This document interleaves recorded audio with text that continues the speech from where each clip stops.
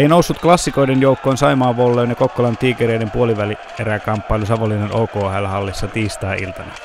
Kotijoukkueen peli ei syttynyt kunnon roihuun missään vaiheessa, vaikka lehtereillä oli runsaslukuinen yleisöjoukko avittamassa. Hallitseva Suomen mestari vei pelin lopulta näytöstyyliin erin 3-0 ja jatkaa matkaansa kohti mitalipelejä. Saimaa Volley sen sijaan saa käydä miettimään ensikauden kuvioita. Haastattelussa pinkinvärisissä pelikengissä palloja tappanut tiikereiden tähtihakkuri Olli-Pekka Lelu Ojansivu.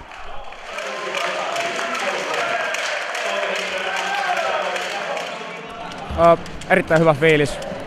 Ö, pelisarjan paras esitys meiltä oli tänään ja, ja tota, niin, tämä oli meille todella opettavainen sarja. Et kaksi ensimmäistä peliä meidät pistettiin tosi ahtaalle kotona ja, ja tota, tämä oli hyvä, Tämä oli hyvä osoitus siitä, tämä kolmas peli, että me pystyttiin mukautumaan, mukautumaan ja oppimaan sitten noista aiemmista peleistä. Ja, ja tota, tänään, tänään oltiin tilanteen tasalla ja nostettiin omaa tasoa. Hyökkäyspeli, hyökkäyspeli oli parempaa ja sitten saatiin, saatiin tota, niin pidettyä toi Medenis vähän paremmin, paremmin kurissa. Se oli kovilla teholla pari, pari peliä hakkailut tuossa. Että, että erittäin hyvillä fiiliksillä jatketaan sunnuntaina kohti sunnuntaina alkavia välieräpelejä.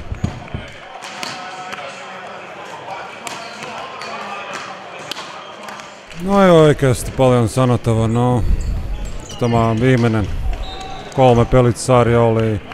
Ei riitä tänään virtavarma pojille.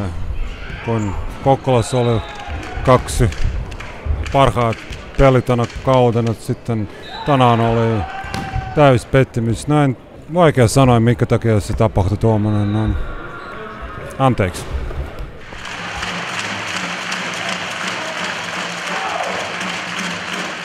Niin, Olli-Pekka Ojan sivu onnittelut välieräpaikasta. Näkikö Savonlinnalais yleensä tänään tulevan Suomen mestarin pelaamista? No tota, vielä on paha sanoa, mutta mut, mut, tänään oli semmonen, että Savo pelasi kyllä paremmin, paremmin tuo Kokkolassa kuin tänään. Että oli aika, en tiedä oliko sitä jännittynyt vähän toi kotijoukkueen peli. Et, et päästiin aika helpolta että ei voi, ei voi puhua vielä mistään finaalipaikasta. No entäs oma peli? Teidän oma peli verrattuna näihin kolme ottelun tänään?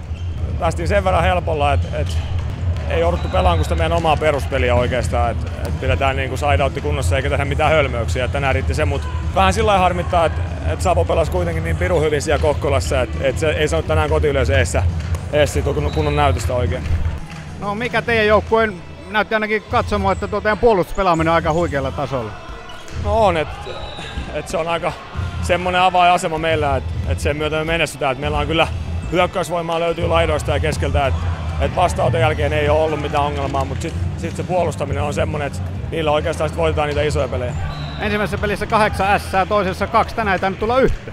Ei, tänään vähän säästettiin tuota kättä, että oli vähän sinne kikkapäivä, että piti itsekin vähän kikkailla enemmän, että ei, ei, ei pystynyt antaa junttaa oikein. Että vähän toi se olkapäävaiva ja pikkusen tänään vaivas.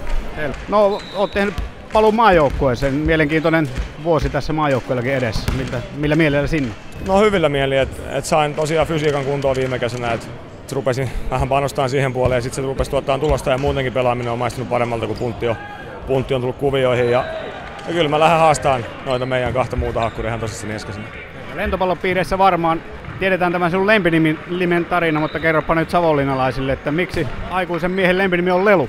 No sitä itse asiassa mä en itsekään enää muista, että se kaveri, joka antoi sen, niin se antoi sen mulle viisivuotiaana ja, ja me ei olla sitten sit nähty sen jälkeen ja mun on pitänyt päästä sitä kysyä, mutta mut ollaan asuttu niin kaukana ja toisistaan, että ei ole päässyt, päästä kysyä, mutta nyt, nyt mun täytyy jossain vaiheessa ottaa selvää, että mä saan kertoa sen muillekin. Selvä, kiitos ja onnea jatko. Kiitoksia. Try to find your old dream